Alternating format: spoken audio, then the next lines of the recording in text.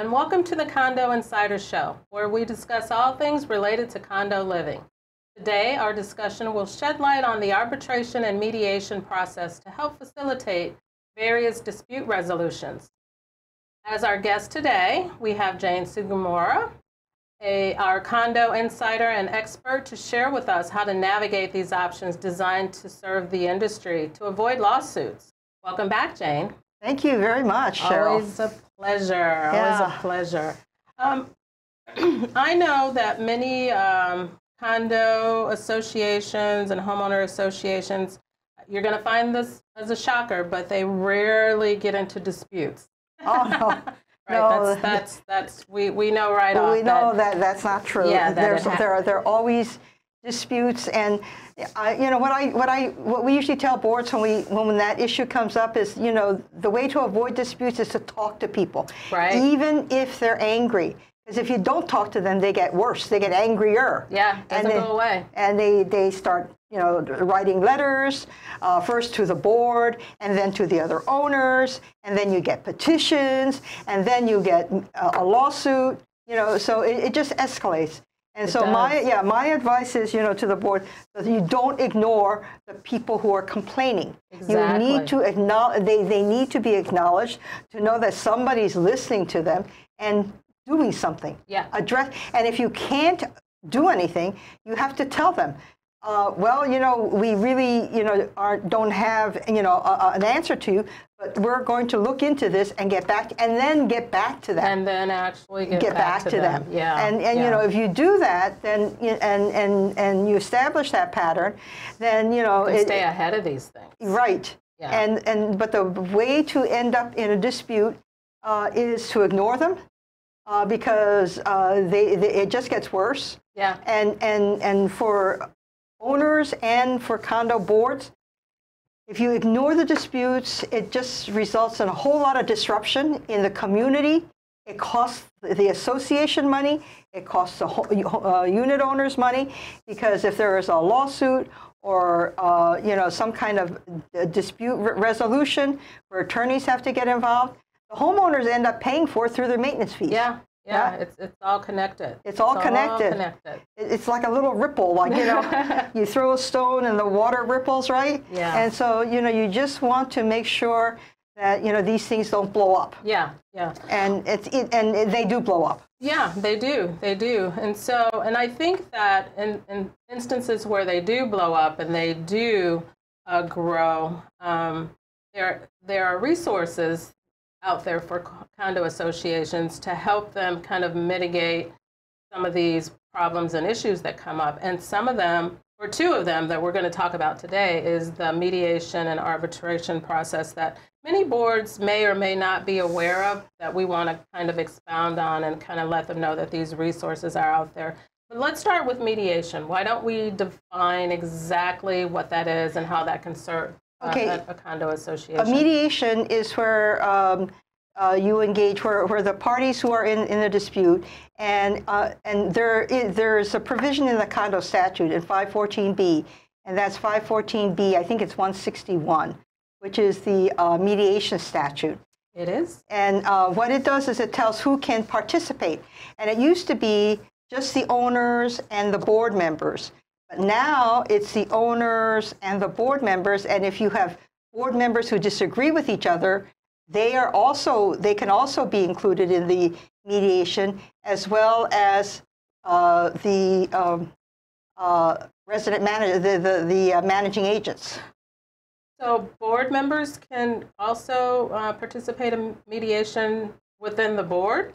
Yes, because oh. you, to give you an example, there are some, uh, there's, uh, th there is a uh, provision that talks about good uh, rules of good conduct. I don't know what, what it yeah, is. yeah, I think and, I read that. And and some boards have been adopting it.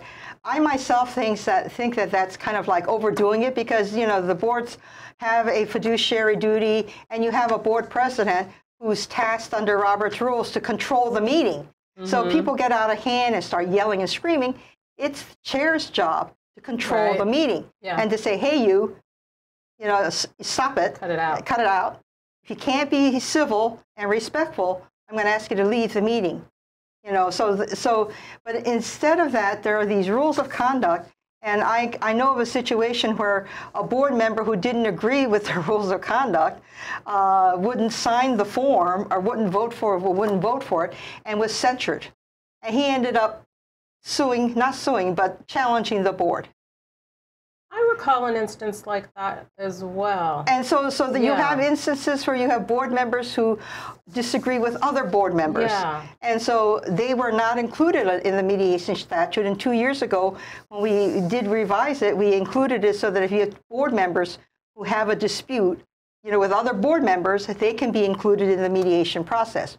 But what a mediation process is, is that uh, the, the people who have the dispute, they can contact um, uh, certain providers like D, uh, Dispute Prevention Resolution, DPR, or the Mediation Center of the Pacific, or there are certain mediators in town, professional mediators, and they are known to the, the Real Estate Commission, uh, and uh, who can refer you know, people to the mediators. And then, so the mediator is a, is a neutral, and there's two types of mediation.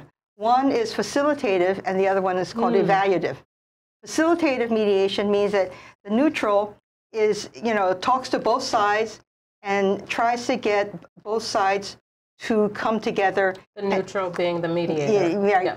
Uh, you know, to come to a solution that is the, uh, works out acceptable to both. Mm-hmm. An evaluative mediation, whereas where you've got the parties who come together, and the mediator is somebody with specific knowledge, and in this case, it would be knowledge of the condo statute. Mm. Okay, so those so in evaluative mediation, you have somebody who's who has who has expertise in, in, in, the statute, industry. and then he listens to both sides and he render he or she renders an opinion, saying, "Oh well, you know, your case is strong on these points, weak on these points." And mm. you know, mm. and so it tries, and, and what it does is it tries to uh, tell them whether they've got a good case or a bad case. And usually these um, trained mediators are attorneys who hmm. practice in condo law or retired judges. Oh, who know so who should know, know, what they're doing. Yeah, they know their stuff. And, and so, if, if you were one of the, the disputants or the people who are disputing, and you're you're coming and and you have a professional, you know, looking at both sides and basically telling you your your case really sucks. you know, maybe you then you should probably rethink. Uh, you rethink this and maybe position. yeah yeah. And and and so so that's what evaluative mediation is. And, but the whole task, the whole point of mediation is to have somebody, a third party, come in, mm-hmm. listen to mm-hmm. both sides, mm-hmm. and to try to get them to agree to a solution that's going to be acceptable to both so that the dis- dispute gets resolved. Yeah. That's the whole point of it, is to let's, and you might not get everything you want. But you know, most times you don't. When, when, when you try to resolve something, you have to give a little bit, and the other side has to give a little bit, and fine if it's something that you know might not be something that was you know number 10 on your list but if it was number 6 yeah you could live with that yeah and and and and and that's that's okay and to me the reason why this is why this type of remedy is so necessary for a condominium in a condominium i mean in a lawsuit if you have a lawsuit you probably don't know that person really well, and that person doesn't live in your building. Right. And that person, That's not your neighbor. Right. It's not your neighbor. You don't see him in the elevator. You know, so it makes it kind of awkward if you're fighting. The person you're fighting with is in your building or in where you live. Mm. And you know, so it's best. And because there's nothing you can do because you're not going to move, the other person's not going to move right? You need to get it resolved because it's awkward. Yeah, yeah, it's awkward, and the dispute affects other people, right. the other neighbors, the people who don't want to take sides, right? right who want to just stay away from both of you because they know you're yeah. fighting with each other.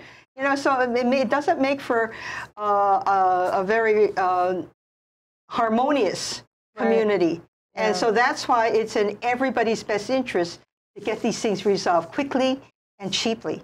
Mm-hmm. And with mediation, in recent years, we, under the evaluative mediation, the state of Hawaii will subsidize it, which means that if you apply for, for uh, if you apply to any of these uh, contractors, and they have contracts with the state of Hawaii, and and you say, I want to do evaluative me- mediation, then they will contact the DCCA and make sure that your condominium is registered, and most most of them Most are. are, yeah. And um, you pay the first $375, and the state will subsidize the balance. That's huge. That's Yeah. saying that they really want to help assist in these matters. Right. And and the thing of it is, is that you know, condo people they shouldn't feel bad that it's being subsidized because it's not taxpayer money. It's not money from the general fund. The money that sits that is used to subsidize the evaluative mediation, and we'll talk about arbitration later, but who, who subsidizes the dispute resolution, it comes from condo ed fund, a, a condominium education fund that was established about 30 years ago.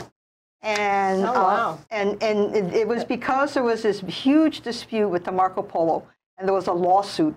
And what happened in that case was the court found that the board president, you had a very wealthy person who was living in the, Marco Polo, and the board president. They just happened to be neighbors in the Of penthouse. in the penthouse. And it started with a roof leak.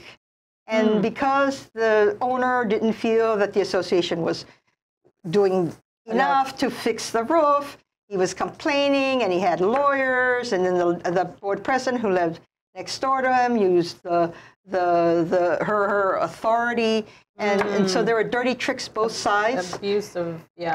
And and uh, that was the case where the carrier even walked away in the middle of the lawsuit. Said, The "We've- carrier? the carrier, the insurance carrier, walked away and said, "We're out of here," and they had to end up. That's su- unusual, isn't it? no, it, it's not. But they ended It's up suing the carrier because the carrier, the, this is a D&O carrier. Yeah, aren't you obligated? Or? They are obligated to defend, but in the end, because of the shenanigans, I guess that were going on, and it, it was in the newspapers. All, it was very Oh. bad. And, uh, and in the end, the court found that the board president was, uh, had breached her fiduciary duty and she was fined 75000 And the vice president was, this is over 30 years ago. Ouch. And uh, the vice president was fined $65,000 for not stopping the board president, which uh, I, I happen to personally know the board president, and she sat on my Hawaii Council board. And let me tell you, Oh. there's nobody who could tell her what to do. All so, right. you know, but anyway, because of that, the legislature kind of gathered us together because we had wholesale resignations because board members found out that they could get sued and be personally liable because Well, they, right they, the court would not allow the insurance to pay the fines right? They had to pay it out of their own pocket. And so you had all this wholesale resignation and the, the So legislature in walks the said, to- you know, this cannot happen again. Yeah. And so we are going to establish a fund to educate board members and owners and to promote dispute resolution so that lawsuits don't end up in court. Yeah, that's how these things happen, folks. Well, this is a good place for a break, so we're going to take a quick break and we'll be right back. Please come back and uh, join in the uh, conversation on arbitrations when we come when we come back. We'll educate you on that. So, thank you. Stay tuned. Hi, I'm Dave Stevens, host of the Cyber Underground here on ThinkTech Hawaii, and ThinkTech Hawaii needs you. Please help us in our fall fund drive. Every dollar sustains us. Go to thinktechhawaii.com and click on the donation button, or send your check to ThinkTech Hawaii, 900 4th Street Mall, Suite 888, Honolulu 96813. Your donation is tax deductible and deeply appreciated. Mahalo. Hi, I'm Rusty Komori, host of Beyond the Lines. I was the head coach for the Punahou Boys varsity tennis team for 22 years, and we were fortunate to win 22 consecutive state championships. This show is based on my book, which is also titled Beyond the Lines, and it's about leadership, creating a superior culture of excellence, achieving and sustaining success, and finding greatness. If you're a student, parent, sports or business person, and want to improve your life and the lives of people around you, tune in and join me on Mondays at 11 a.m. as we go beyond the lines on Think Tech Hawaii. Aloha.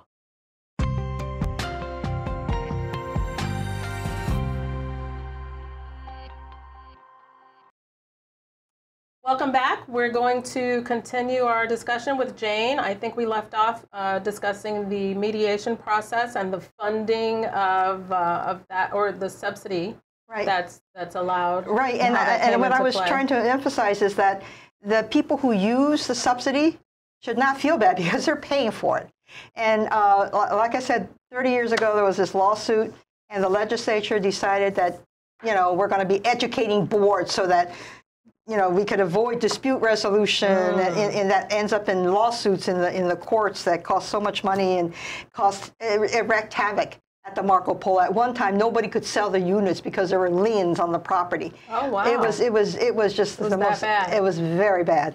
And that's um, a good history lesson. And and, and so the, and when it first started, it was a dollar and a quarter per unit for every condominium unit in the state of Hawaii and biannual. biannual, which is every other year. Yeah. And, and and at that time, I mean, we we kind of uh, balked at that and said, you know, th that's unfair. It, they were going to set up a special fund to be regulated by the DCCA.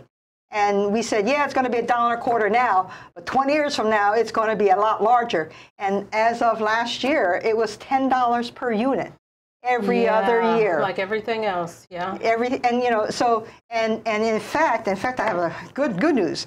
I got a call from a legislator about a month ago, and Takashi Ohno is mm-hmm. head of oversight with the government, and they were looking at these four special funds. One of them was a condo education fund. Really? And they found, and I could have told them this. They found that there was a lot of money in the condo education fund, two over 2.5 million dollars. Really? That's amazing. No wonder they can afford to subsidize. Well, of course they want to help, but, but money is there. And, and because because when he had when he did his investigation of these special funds, what he found was the four funds that in question that they weren't spending it down. Yeah. And so they he, they were collecting the money from condo owners, but they weren't spending it down fast enough. So for the next biennial session, which is, I think, um, uh, this coming year, 2020, mm-hmm. then they cannot, they have to waive it. Uh, they have to Completely. waive no up to uh, it, it, can't they can't collect more than five dollars okay per unit so it, it, almost cut in half yeah i don't know if that's going to uh, affect the fund I mean, and you know, but they have a lot of money. funded now, so so so people should not feel bad about using this right. the subsidy because it's money that condo owners have. It, they, it gets collected from condo owners. It gets put into a fund, and there's over 2.5 million dollars there. Wow, wow. Well, what are they doing to get the word out? It's if you go on their website, mm-hmm. the uh, the DCCA REC website, and you go to if you uh, search for mediation, mm-hmm. they have a page. They, they have maybe two or three pages about mediation and arbitration, and it talks about evaluative mediation. It also talks about the subsidy. And, oh, I see. And if and if you call the the DCCA and say I want to do evaluative mediation, who is doing it? They will tell you. Uh, DPR, uh, Mediation Center of the Pacific, and there's Louis Chang, and there's other I think Philip Nerney does it, but mm. they will give you the name and the contact information. Mm-hmm. They also have it uh, on the neighbor islands mm. as well. Yeah. So it's statewide because it's they're collecting money. Yeah. State, and I can and, and, being a board president, I can remember getting the bill from the DCCA and having to sign the check, you know, for the ten dollars for however many units in, in, in our building. Yeah. And you know, so I remember uh, sending those out. Right. Yeah. That's what that's what it's all about. Mm. And so you know people should take advantage of it. Yeah. That's what it's there for. Yeah. And it's and the whole purpose is to avoid them going to court. Yeah. That's where we don't want the, the, the disputes to go to. And I will tell you, as an attorney, I have personal knowledge. The judges hate condo cases. and I had one district court judge tell me you know, who she does uh, temporary restraining order. She says, "Why can't you people get along?" Yeah. She says, "I have all these. I, I spend hours hearing these cases, and I can't believe the bad conduct or the the the the, the mean things that ha- people do to each other. Yeah, and it's it's it's awful. It, it, it's unfortunate. Like you said, you, you live. This is your home. Um, these are your neighbors. You want to promote, you know, a, a healthy environment, and right. you want to and, so, and, and that's why, like you stated earlier, it's it's, it's imperative that boards listen. Right. Just listen, listen. to homeowners, and the issue is not going to go away, even if you give them an answer that they're not necessarily 100% happy with. At least you're listening. Right. and, And responding. And I think yeah, people uh, you know appreciate that. Yeah. And you know what they don't appreciate is being ignored. Yeah. Especially if they're paying maintenance fees, right? Yeah. They, they're a part of the association. They pay their maintenance fees, and it's like, well, geez, I asked a question. I think it's a reasonable question. I deserve an answer. Right. Or I'd like to see the board minutes. How come I can't see the board minutes? Yeah. You know, it's like Simple things. It's simple things like that. Yeah. And so it's like, so so give it to them, and it, it- if it costs the association money, the statute says you can charge. You know, you can you, if if they won't give you an email address, uh, you know, where you can send the stuff, then and you have to copy it. You incur a cost. you Copy, yeah, yeah. you are entitled to charge, and so that's fair. Mhm. And so, you know, so it's not, so the issue is, so the answer is do not say no when somebody wants a document. Yeah. You know, just Yeah. give it to them. Yeah. And that'll, you know, prevent a, a lot of issues later on, potentially. Because that's what, I don't know why, but over the years that I've been involved, there have been more disputes regarding documents. Documents, yes. You know, why can't my, why won't my association give me the contract? Yeah. The man, managing agent's contract. And it's like, well, uh, why do you want it? I mean, they can ask you why you want it, but you know, they have to eventually give it. And it's like, and it's probably because the homeowner is probably mad at the resident manager, wants to know uh, what you know Mm-hmm. What, are they're paying him? what- yeah, and what you're that's paying. in the budget. I yeah, mean, and and you know, eh, but you know what what I've done is when people want things like that, I, I just tell the our managing agent just give it to them. If there's privacy information, that has to be redacted. yeah.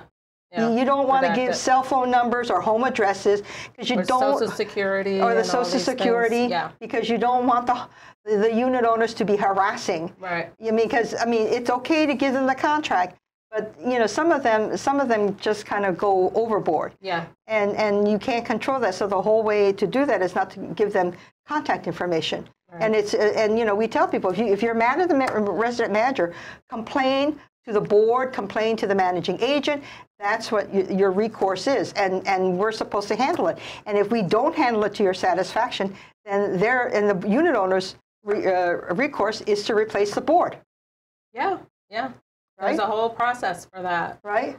Yeah, so that's good stuff, Jane. The, the mediation process can, it's typically not binding, It's right? not binding, but you know, if it's successful, Mm. then you Then get it a- goes away. Yeah, it goes away. Yeah. yeah, and yeah. and uh, and so so and the, to to me, that's more important than Right. you know what you want is you you want the dispute to be resolved resolved. So if it means talking to a third party neutral to help people work out Sometimes a third party can see things that you can't see. that you can't or- see because you're so or mad. didn't think about because you're clouded by anger in many Right. cases. Yeah, yeah. So then, if it's not resolved, it can lend itself to our next topic of arbitration. Right, So and arbitration is, uh, is, is something like mediation, except with arbitration, a third party, which is the arbitrator, if you decide to do arbitration, and the statute, the statute is 514B 162, and and, and, and the way the statute is set up, you, you can demand mediation, and if they don't do mediation, you can then demand arbitration. You know, that's, that's the step you're supposed to do. you don't have to do mediation.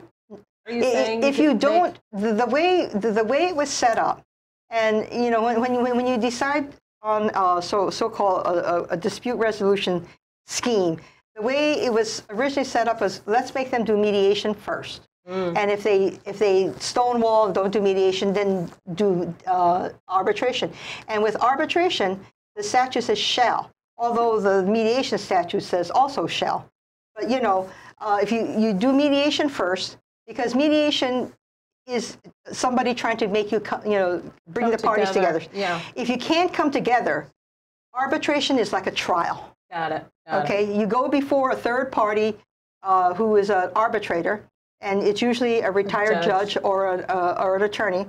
And you basically, you know, do your argument. You do a, a brief. You know, you set out the facts and you set out the law, and you present it to him. And, and you can do argument. And if you bring witnesses, you can do the, te- you know, make the witnesses do testimony in front of the arbitrator. Sounds like A trial, yeah, you would need a lawyer right? to It- navigate that. Right.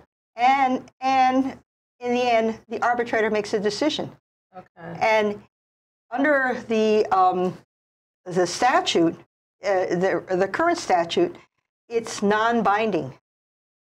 Arbitration? Arbitration is non-binding, which means that if you don't like the arbitrator's decision, you can file an appeal. And then it's a, uh, a trial de novo, which means you file an appeal to the circuit court and you start all over again. It's as if the arbitration never happened. De novo means you start over again. Oh, okay. Okay, and that's why a lot of people don't do arbitration because if the losing party is so upset and he wants to do an appeal, you start all over again. It's like the mm. arbitration never happened. De novo, that's what de novo means. But last year we had we got a statute, we got a bill passed that will allow parties to agree to binding arbitration. Okay, that's what I'm familiar with. I Okay. didn't know that. So- but but you can but that you have to agree to it. Okay. The statute says you need to agree, you know, both par- par- parties have to agree to binding arbitration. And then you, you get an arbitrator who listens to both sides and hears all the testimony and renders an opinion. Now, if you go through that process, the condo ed fund will subsidize it. Oh, at that level as well. Yeah, Oh, okay. but it's got to be binding. But Bind- if it's non-binding, It they won't. won't. They won't. But if it's binding, Binding, if you agree to binding arbitration and you pay for the first hour of the neutrals, which is, I, I, I think it's uh, 375 or 400, but you, you only pay for the first hour. The condo ed fund will kick in after that Oh, and wow. pay for the rest. Okay. All and right. see, that, that's to encourage people to, to do binding arbitration, right? right? Because if, you, if you agree to the so binding, it's pow. it's POW. It's POW. For Yeah. good, bad, or ugly, when you're done, it's POW. Yeah. Yeah. right? And yeah. for that, the state of, I mean, the- the condo ed fund will subsidize Yeah. the cost of the uh, mediator, I mean, the arbitrator. Yeah. And, and that's something that's, that was brand new in uh, last session. Oh, I didn't know that. I didn't know that.